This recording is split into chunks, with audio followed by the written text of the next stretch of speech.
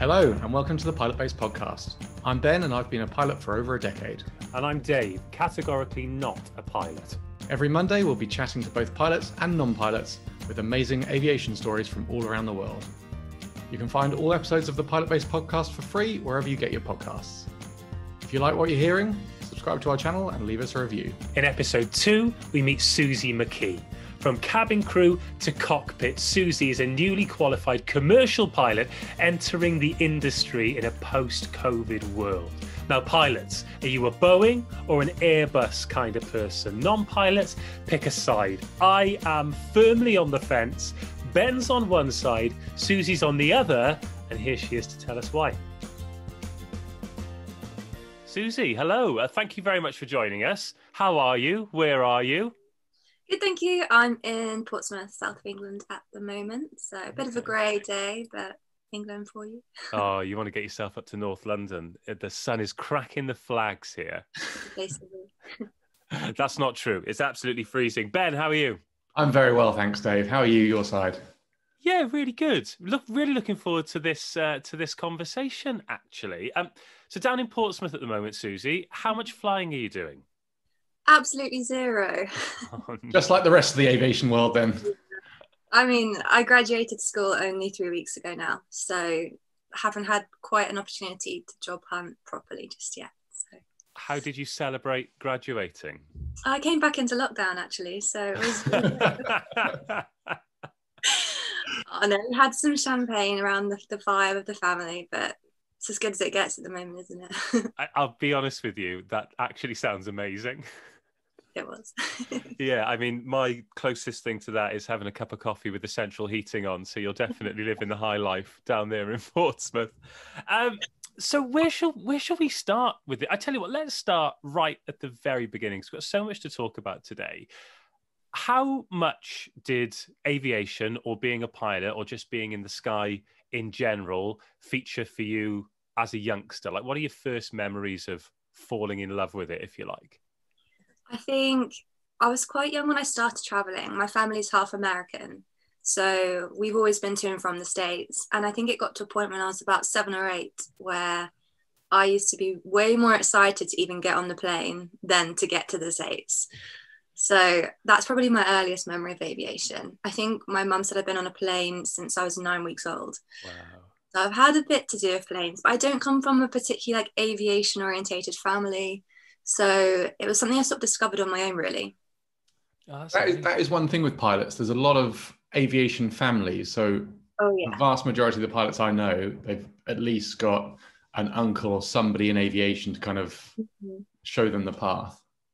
So you you yeah. haven't. Uh, uh, you're not from an aviation family, are you, Ben? No, no, no. Oh, this is great. I've got two of you on one call. Fantastic. so, uh, at what point did you think, well, I can make a, a career out of this? Uh, I think it was sort of during my A level time. Um, you know, you do the generic, like, where do you want to be when you're 25 quiz? Yeah. And mine came back as a leisure centre owner. but I, that's not for me. So yeah, I was very confused. Started looking at other options, um, and then I was torn between midwifery and aviation, which again has nothing to do with each other. Um, so I kept my options very open, sort of through school, through uni, and it was after uni where I was like, I can pursue this now. to be fair, leisure centre owner, like, is that an independent? I always just thought it was the council yeah, well, you know, I could set up my own one, Suzie's Legend, you know. hey, it's a it's a long career. Anything's possible. So you you went you went to uni. Then what did you study? Spanish and Italian. Again, nothing but to do with aviation. So. Incredibly handy, though. Goodness but that will me. come in very useful.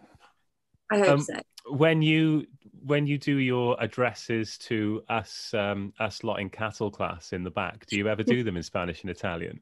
I actually did do one on a. I hadn't had a Madrid there and back on a triple seven when I was working as cabin crew, and they asked me to do the PA, and I was terrified.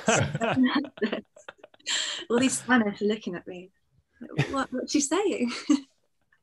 Oh, do you, did, because I'm I'm one of the I'm one of the worst flyers, and I'm sure I get hauled over the coals for this. But when the addresses are happening from cabin crew and the safety announcements at the beginning, I've usually got my my headphones snuck in and my hood up, so I can't get told off, and I I don't pay a lot of attention. I'm so mm-hmm. sorry. But do you still? Well, you don't obviously now because you're a pilot. But do cabin crew still use the telephone? Oh yeah. Pilots do as well, Dave. Really? No, stop it. Yeah. So I had an incident once. So you can do it over the headset, but you've got to Right. you, you can have a bit of finger trouble because you've got to like hold certain buttons down. And once I gave a whole cabin announcement to Baghdad Control. That's my worst nightmare, Yeah. honestly. Absolute disaster. oh no! Uh, how how long until they butted in and said, Well, you- "Captain, I think They can't got the butt in on VHF because it's like a one-way directional thing. So Oh. I finished this like three-minute thing, and it was it was like my fifth flight or something. So I'd written it all down. I was reading it verbatim, and then I like released the thing, and uh, Baghdad Control just like, uh, "Thanks for that. Switch to tower." oh, just spend the rest of the flight sweating with embarrassment. Yeah, exactly. So the safest thing to do in the cockpit is we we have a little phone as well. So just pick that up, PA on the phone. Mhm. Oh, amazing. I love that. The, literally the height of technology that can transport hundreds of people safely from one country to the next, 10 miles in the sky, and you've got a hardwired landline. so you can. Oh, amazing stuff. Right. So, anyway, we I want to sort of rush through this bit so we can get into the nitty gritty. Through university, you finish, you get your languages degree, incredible. Um, was cabin crew your your first job out of uni then? Yeah. Uh, well, actually, I found myself working in an MOT garage for six months, Great. which I've had a rocky path. Okay.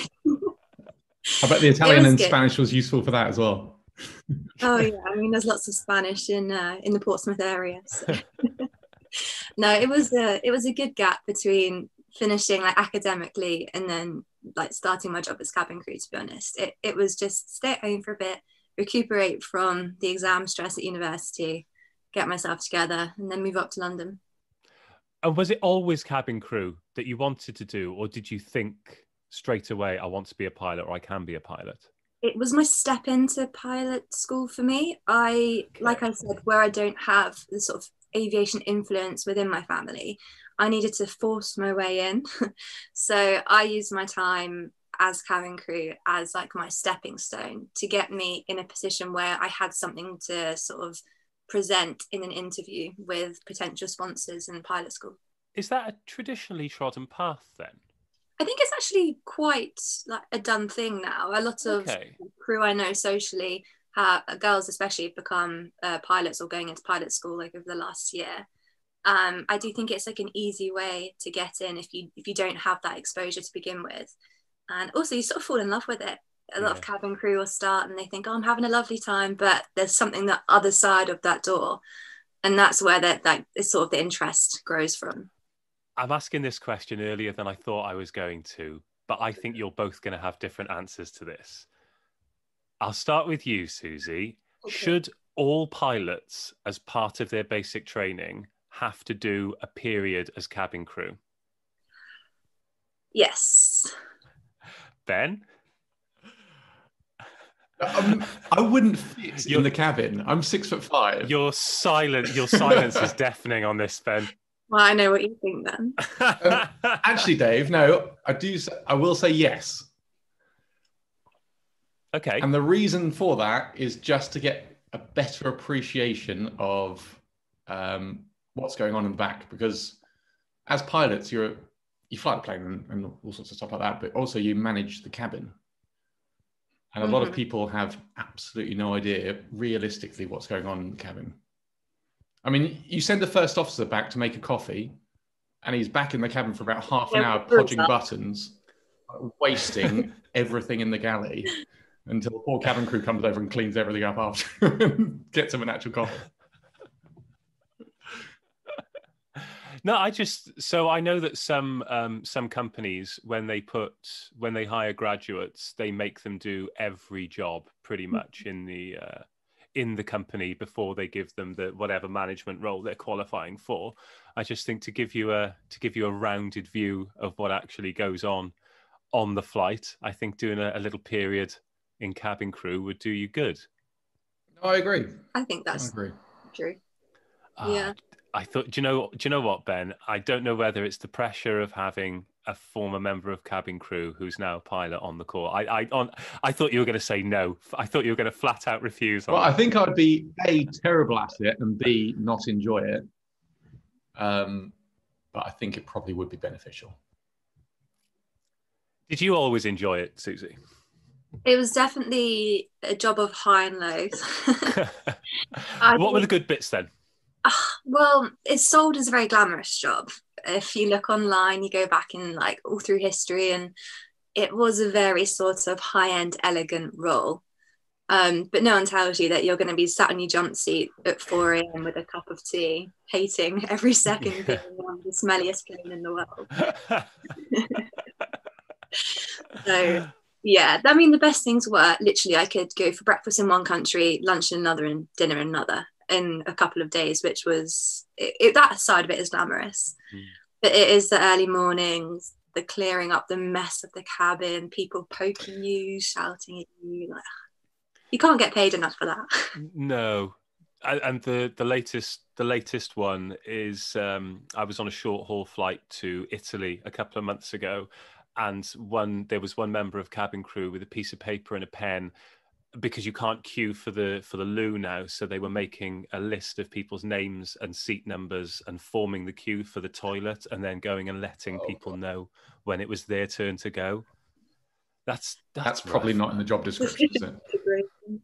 No, no, not at all. Um, so you, you became cabin crew with a wish or a dream or, or or a vision that you were going to be doing that for a finite amount of time, and then you were going to become a pilot.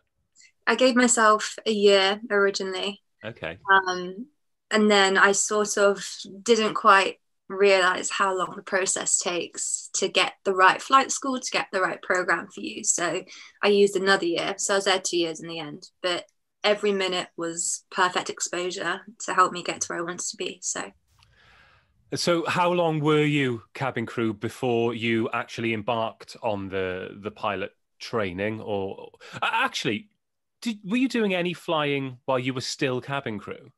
I've never flown before I went to flight school. No Which- way. Risky. Wow. I was exactly the same. Yeah. Really? Okay, I don't feel so bad. I just went for it. Mm. Yeah, I mean, a lot of people, especially when we started getting into the smaller aircraft, sort of single engine training, we were warned about the potential of not enjoying it because if you haven't had the chance to experience flight in a small aircraft, you just might hate it. And I thought, I've come this far now, I can't hate it, surely. And I know, but you and I have talked about this, Ben. You almost the, the money becomes a byproduct. You know, it's going to cost a lot of money to train to be a pilot, and it's it's a dream job for so many people. But just to get that far, I'd imagine you've put a fair amount of money down already. Imagine you've mm-hmm. paid all that money. It's been your dream for however long. Then the first time you take off, you're like, nah, not for me, lads. Don't fancy it. It happens. I've heard it of it happening. Yeah, I know sure. some. I know some people that started their flying training. They got airsick. They didn't really like um, Oh. the sort of pressures involved in it, um, and they just gave up after sort of five hours of flying. Did you love it straight away, Suzie? Yeah, definitely. It was something I hadn't ever felt before, and especially when you start to fly on your own, uh, like the power is is really cool. Power. Yeah, I, yeah, it is. It is power, isn't it? It's, Yeah, it's a, it's a real like So- sense of freedom. That first solo flight you do, you kind of take off oh, and you look beside you and nobody's sitting there, and you're just like, okay, I'm in the air by myself. How did you choose your training school? So I sort of had it in my head that I was in a quite a comfortable position in my cabin crew role, Mhm. and I knew that I was a hard worker. I could probably at least try to get on some sort of a sponsored program. Um, airline sponsored programs aren't that easy to come by, but once you've done one of the interviews, one of the assessment days, you get a grasp of what the next one's going to be like.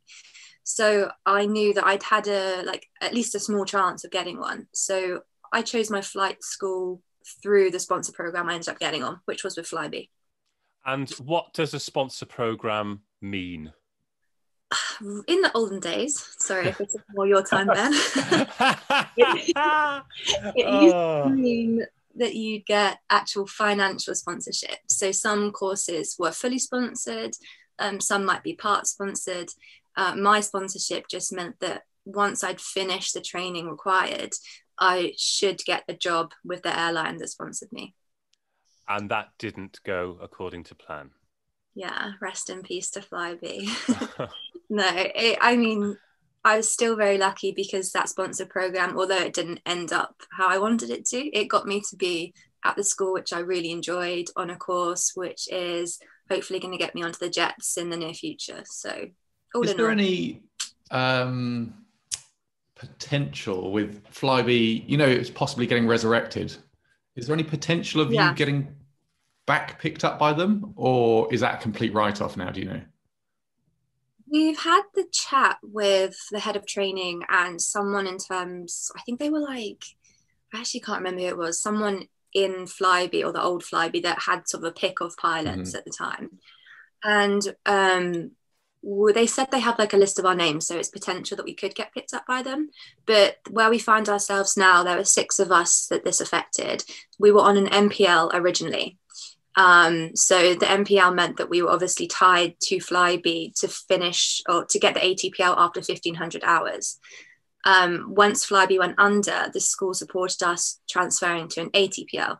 So we've got, I don't know, like six to 10 courses who were already pilots at Flybe who are still on the MPL because they haven't achieved their 1500 hours. So obviously, in my head at least, they're going to get the call up before someone Hmm. like us. Do you want to just describe to Dave, because Dave has zero knowledge of flying, what an MPL is versus an ATPL? Yeah, to it. So the MPL, um, in the nutshell, is very much like airline orientated. So an airline chooses you to go onto an MPL, and you have to finish that MPL license with the airline. So my MPL uh, in my flight school was not very many flying hours in terms of single engine planes. A couple on the, the twin engine planes, but most of your hours are done in a 737 simulator. So they're gearing you up to get straight on the line, straight away flying those those planes for the airline. Um, your MPL becomes an ATPL after 1500 hours with an airline. Whereas now I have a frozen ATPL, which means I can take my license to any airline I want to go to. I can fly with them. And once I get my 1500 hours, as I would with the MPL, my ATPL becomes unfrozen. If that makes any sense at all. the one chooses the wizard, Mr. Potter. And Basically. uh, so, how many hours are you on? Am I on now? Yeah. Oh god, I don't know. Like I've got enough for my frozen ATPL. I don't even know how many that is. I think I've got 150 actual flying hours, and my sim hours take it over. I think it's 210. Dave, we're going into civil aviation licensing requirements now. That is a wormhole. yeah, yeah, and and you know, it's we are very much making ourselves a niche podcast if we go uh, if we go into that. Um, how to talk to me about simulators then? Because in in previous episodes we've we've sort of brushed on them and the fact that simulators themselves have instructors. How close are they to the real thing? Obviously, the jeopardy is is a great deal lower, but do you get a good feel for flying from the simulator experience? I mean, in terms of the jets, I can't really comment because I've never flown one. um, but it does feel very real, and all the scenarios you're you're faced with. Although you wouldn't expect to have a decompression, pilot incapacitation, you know, one engine out landing. Once you start sort of getting those done, it does feel like your your stress levels are rising when you know you're getting uh, certain emergencies, like you probably would experience in a in a real plane. Um, but if we go back to like the smaller sims, uh, they don't even move. You just sit in a seat, look at some screens. oh yeah, there's the Isle of Wight, you know. All of those things sound absolutely terrifying, by the way.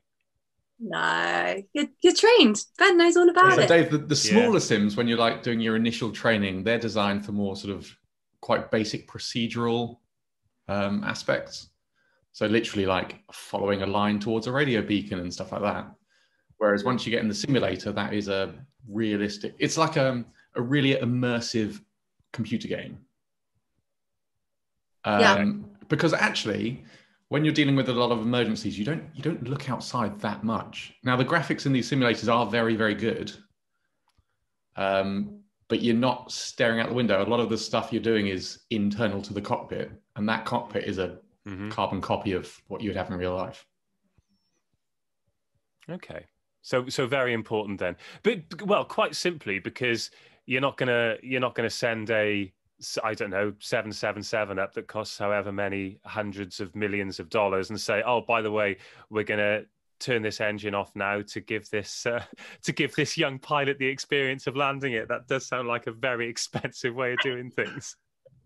Definitely. oh, good. So, what about um, what about the transition between cabin crew and and pilot? Then I know uh, you've you've still got a little way to go before you get that that dream job that I hope is just around the corner for you. Do you think you're going to come up against any obstacles? Kind of people's attitudes towards you. Yeah, I do think it's it, it could be a bit of a stigma, and I have experienced it um, at pre- previous interviews as well. Hmm. Um, you sort of turn up, and that they like being cabin crew has been so beneficial to me. I literally loved it. It was a fantastic job, and it was perfect to be my stepping stone. But sometimes it's hard for people to see past the fact that you were cabin crew.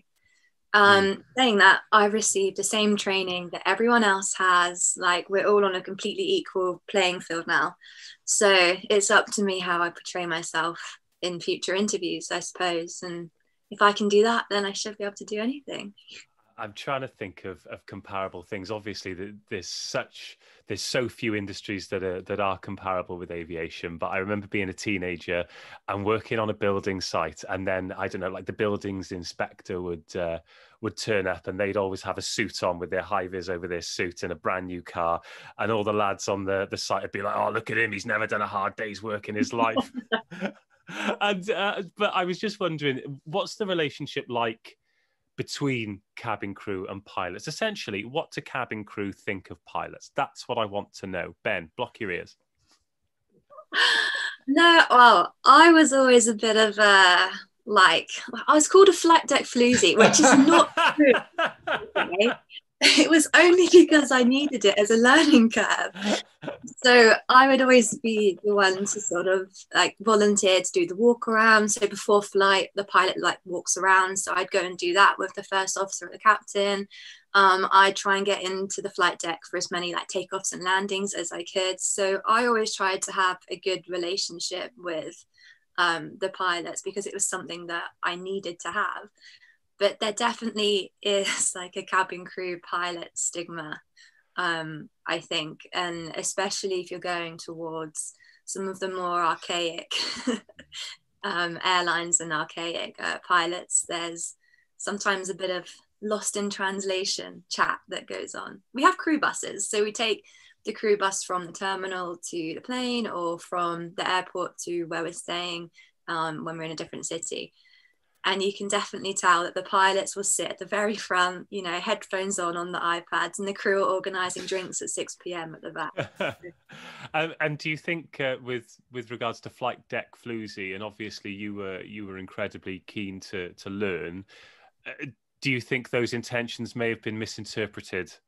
Hence No, the nickname. never. I mean, maybe amongst the crew, uh, but everything I did in the flight deck was like only ever professional. I literally learned so much from even spending 10 minutes taking a cup of tea in the middle of the night, for example. Mm. So it was it was definitely a tool that I used to help me get where I am now. And Ben, what do pilots think of cabin crew? Um, I think Oh, do you know what? Pilots is probably a yeah, I was going to say, I think isn't it? Stephen's touched on it there that it really depends on the mindset of the of the pilots.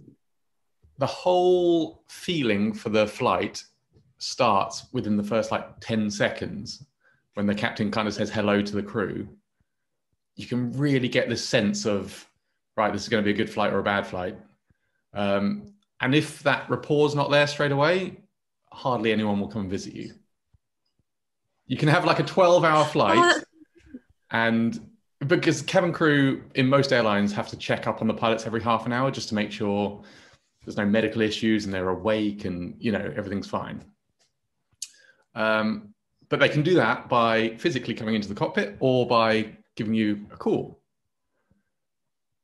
on, On the the landline. landline. And, and if there's Yeah, a okay. bad start to the flight, that's all you get. It's a everything all right? Yeah, cheers, bye. Done. I'm guilty of that. Are you really? so it is a nightmare when you when you've got a captain who gives it like a really bad first impression. You're just like, oh, this. It kind of taints you with the same brush because nobody wants to come and visit, and Hmm. everyone kind of thinks that if they speak to you, then they're going to have to speak to the captain. So not going to risk it. hmm But is that something, Ben, that as you develop to become a, a captain, is that something that you're going to be very aware of? absolutely. And I think honestly, it's got a lot, lot better. It tends to be just the real tail end of the the old cohort, where it's kind of the captain is the boss and nobody can say anything against them. I mean, ninety nine percent of pilots now are very good, in my opinion. Um, yeah, but the cabin crew thing's funny because I spoke to um, a cabin crew member who's been flying for like 35 years, never visited the cockpit. It's a lot. In her What? entire life, she just was not interested. She's more than Wow. happy sitting down the back, having a chat. And I, I just could not fathom that, Incredible. but each their own, right? Well, I think that just shows the different reasons that people get into the job, isn't it? Yeah, totally.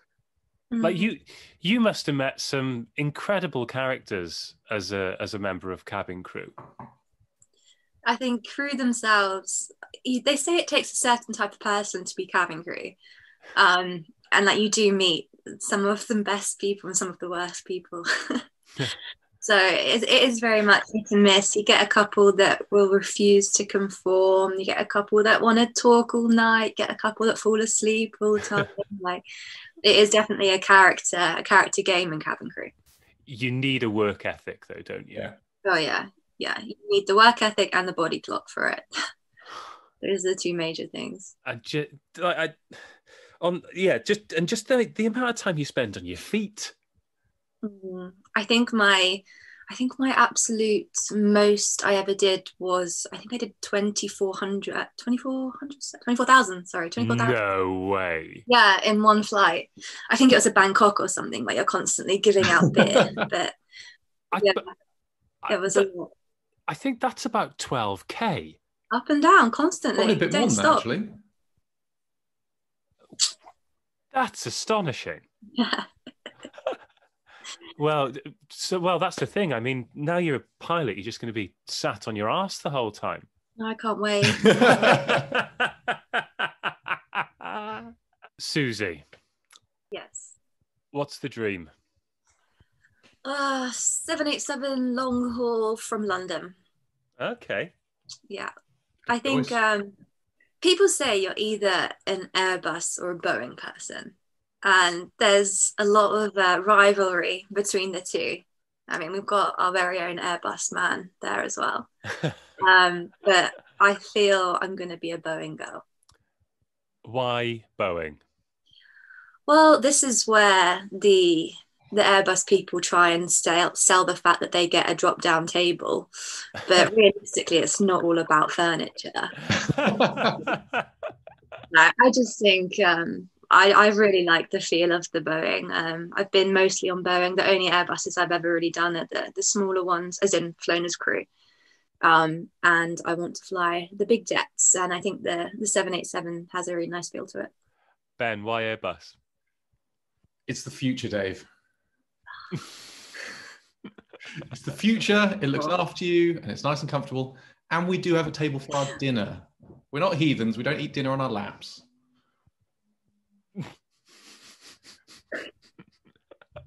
So basically, right, the difference is they're, they're both essentially the same. Boeing has got like a control yoke, right? So it's got like a steering wheel. And it's considered a bit more of a, a pilot's plane because you can, it's, it's like a bit more conventional, so you can feel the flying. Whereas an Airbus has a little joystick, we call it a side stick. Uh, it's got no mechanical connections whatsoever. It's just a computer signal sent backwards and it's got some like artificial feedback so you can kind of feel a bit of pressure uh, but it's all it's a lot more about um, just knowing what you're doing rather than feeling the flight So Ben's over there playing Mario Kart. oh, I love this. Oh, Boeing the Airbus banter is going to be perhaps my favourite feature of this podcast series. i think it might be Oh, quite a consistent feeling as well Um, so think, things aren't as you as anyone wants them to be in the aviation industry in the moment, whether it's pilots, whether it's cabin crew, whether it's people like me who are just frequent travellers who are who are desperate to to, to get back to work in, in other countries. Uh, how patient are you willing to be, Suzie, with regards to to getting in the cockpit and, and actually becoming the pilot that you want to be? Well, personally, I am impatient, very impatient. I mean, I've worked what I feel has been four years to get to this point now.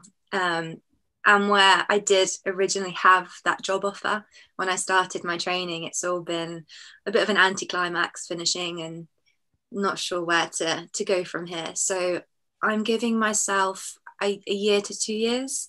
Okay. Um, pilot school is an absolute slog, the best 20 months, but it is so difficult, so difficult.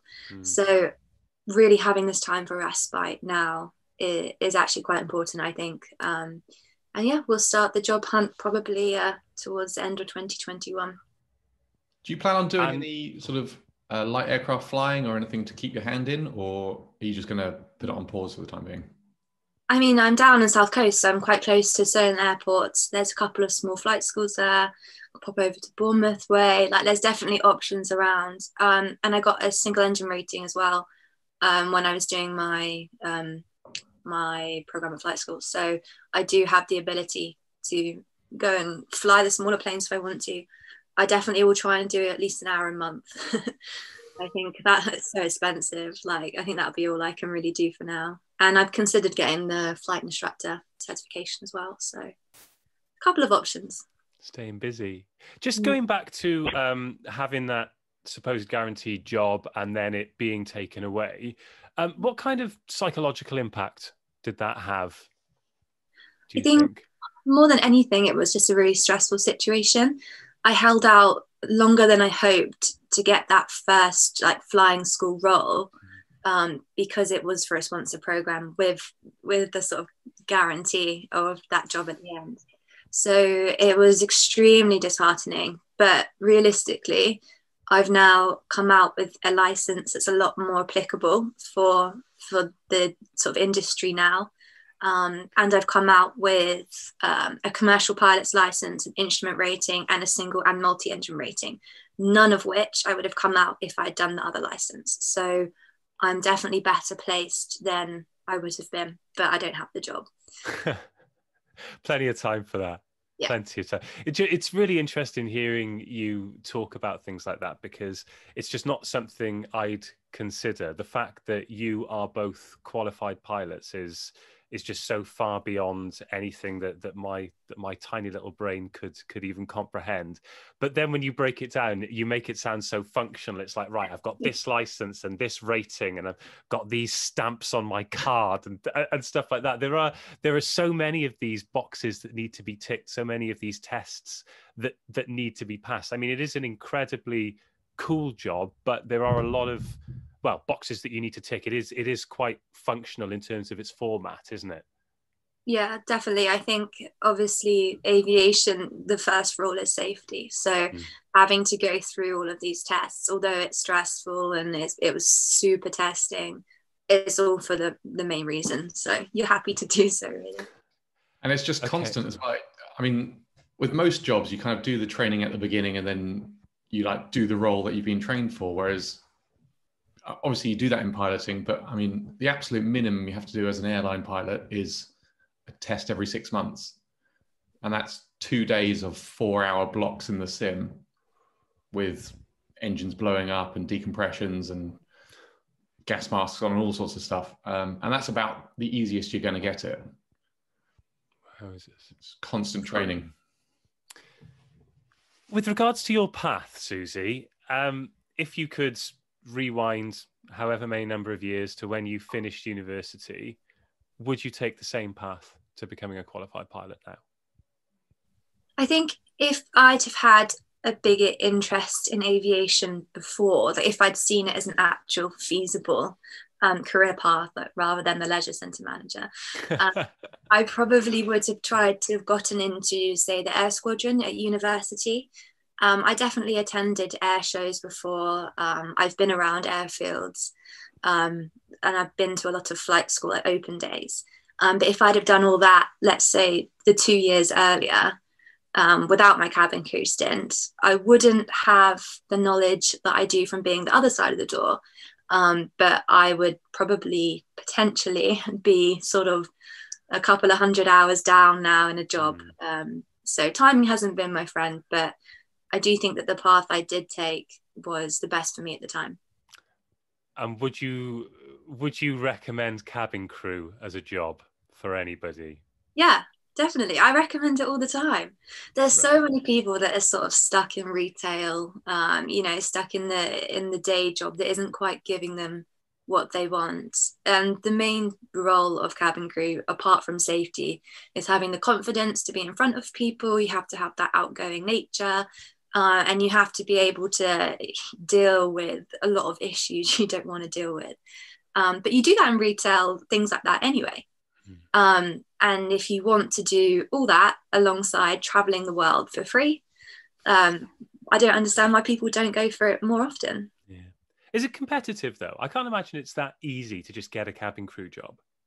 I think there's a couple of like uh, difficulties uh, to get into the role. You have to be a certain height for starters, and it's the same for pilot. You have to be between two height ranges.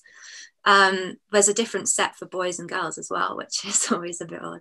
That's um, weird. Um, yeah, so a lot of people I've heard uh, who want to be cabin crew have failed the first hurdle because they've lied about their height. wow. Um, yeah, they, they test your reach, um, which is basically so if you were to be holding on to one of the handles of the doors and you had to pull the um, the manual inflation handle of a slide, you have to be able to reach it. Okay. So that's tested. Um, the, but... the, the, different heights for men and women that that winds me. You, to be fair, Ben, you must be right on the cusp because you're massive. Uh, yeah, I think nobody's just checked to be honest. but the different heights for men and women. I mean, we're we're at risk of traveling down a massive wormhole here. But I don't know if either of you have read Invisible Women. But the fact that when they test airbags with crash test dummies, they do it based on the average weight of a man, not a woman. So if you're in a car crash, then a woman is more likely to die than a man.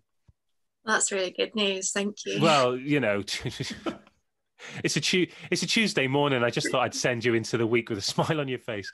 But yeah, it is. I, am sure there is. I'm sure there are decisions made by people far above my pay grade uh, that have that have decided the the reasons behind that. But it does seem a strange one.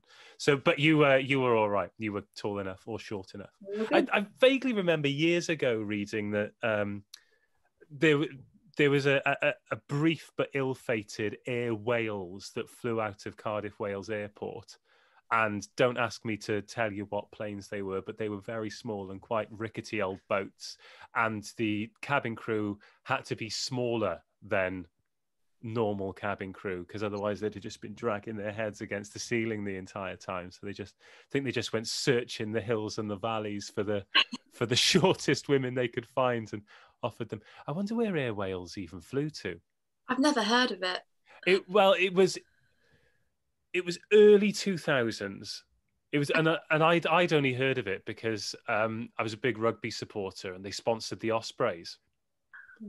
Yeah. cardiff to holyhead. But yeah. Lovely. Cardiff oh the big one. Over the water. Absolutely. Over the water? To, to, your right you've got Offa's Dyke. Do, do you, um, Ben? Do you, uh, when you're giving the sort of route plan out to the route plan? What am I? The AA website. when you're when you're when you're telling the, the the passengers where we're going to go and it's like oh so we'll be we'll be coming over the channel and we'll be going over swindon and following the m4 corridor up do you give those kinds of instructions Do I give them? Y- yeah Well, so I, I i quite like it i quite like it when the pilot does that when they essentially tell you the route really depends how much in. time you've got at the beginning of the flight ah and how lazy you're being. So we, we've got a couple of, uh, like a few elements that we have to include in a PA, which are mainly safety based. Um, and then anything else is kind of at your discretion. So if you're if you're in a bit of a rush and you know things are going a little bit wrong, then probably just scrap it. But why'd you tell us the cruising speed and the altitude because we think people are interested in it, Okay, so it, it is quite because I mean I generally am, but it, that is it's literally because of passenger. yeah, there's a lot of people that, that really are interested. I mean, we have sort of yeah. plane spotters and uh, just enthusiasts coming to the cockpit after the flight, and a lot of them Nerds. I've had I've had people come in and they've got little logbooks of every flight they've ever taken, and they want to know the routes, they want to know the cruising speed, they want to know the altitude, they want to know your tail number, everything. I love it. I absolutely love it. You probably don't, but Well, it, Do you ever let them wear your hat? well, it makes me feel a bit bad because they're more interested in it than I am. that's a great question, actually, Suzie. I don't know if you heard that, Ben. Would you ever let them wear your hat? Yeah, so I've let a lot of kids wear my hat.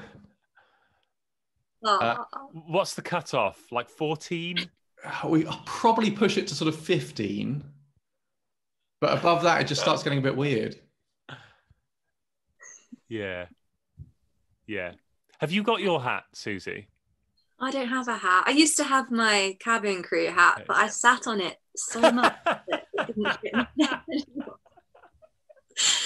Yeah, and I used to use. We had a hat box as well, and I used to use that to like transport either Easter eggs or bananas, and it also fit in a cheesecake factory cheesecake box perfectly. So uh, Yeah. Oh, wonderful. Uh, Suzie, I suppose a final question is um, Have you got any advice for people who are who are thinking about becoming a pilot? I think it's it's incredible that, that both you and Ben have mentioned that you're not from aviation families. So this is something that you've done off your own bat.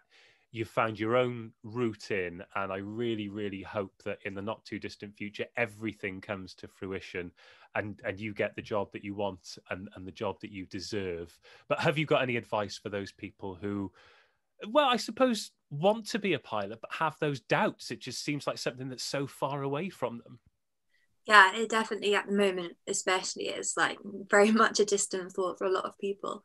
Um, but I would just say the most exposure you can get, like the better.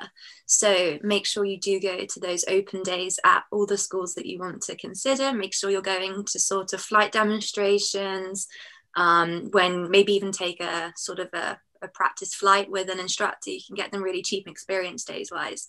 Um, so yeah, just try and be as exposed to aviation as you can. Maybe even get a job in aviation, even if it's washing a plane.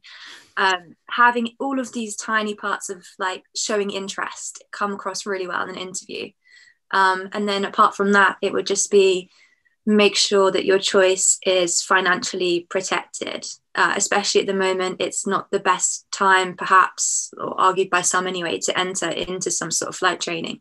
So having your back covered is really important at the moment. But I hope it's going to be a good career. I mean, Ben's definitely having a lovely time, so it, it'll be positive in the end, I'm sure. ben when was the last time you washed a plane well, I- well, I, I didn't hear you, mate, but I think your silence is deafening. on that 2009 it was. Oh, 2009. Goodness me, over a decade ago. Yeah. See, that's it. it. Once you once you put the legwork in, Suzie, it's easy street. Just sit there and get served, and all you've got to do is take off and land. I mean, it's a job, isn't it? Maybe you're sacked. Um, well, good luck. Um, good luck, Suzie, and thank you so much for your time. This has been a lovely, lovely conversation. Um, will you make me a promise, please? Hmm. When you do get the pilot's job and when it does uh, start to turn out really well for you, you'll come back on the podcast and tell us about it. Oh, I'd love to. I've had a lovely time. Ah, thank you very much, Suzie. Look after yourself, and we'll speak to you soon. Okay, Thanks, Bye-bye. Suzie. Thanks for listening to the Pilotbase podcast. We'll be back next week with another great guest from the aviation industry. Don't forget to check out our new career platform at pilotbase.com and all the socials at Pilotbase HQ. If you enjoyed this podcast, don't forget to subscribe and write us a review.